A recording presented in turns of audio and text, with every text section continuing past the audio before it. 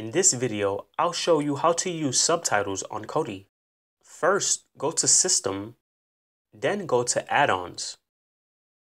Then go to Install from Repository, then go to the Kodi add-on repository, then go to Subtitles, then go to OpenSubtitles.org, then click Install, then wait until the add-on becomes enabled, then go back to the main menu,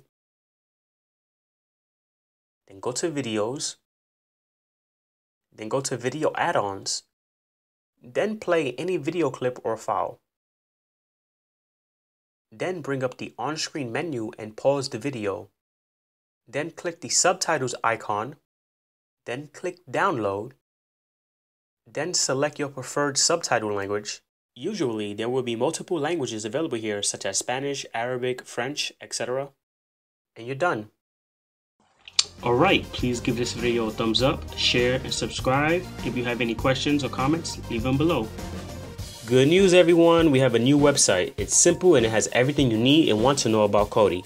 Check it out now, bookmark the site, link is in the description box below.